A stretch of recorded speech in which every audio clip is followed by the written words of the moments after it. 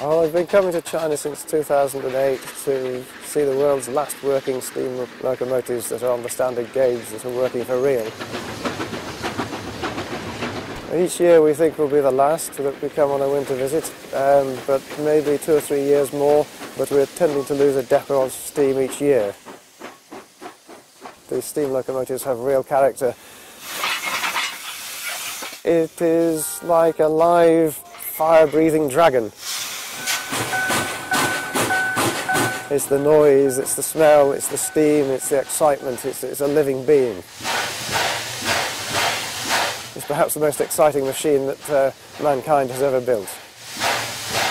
I fell in love with steam when I was four years old in England, and uh, there are magazines, railway magazines, particularly steam railway magazines, which carry the occasional article about overseas steam, and so you realise that there's still steam operating in China so there's still a lot of interest worldwide because it's working for real and it's not museum steam. That's the big thing, it's working for real. I think most people are most interested in the high-speed trains and they think we're completely mad coming here and spending so much money to get here. And we explain that we're here for the photographs and uh, we get some very good results. Then people, I think, realise they should have a little bit of pride about what they still have.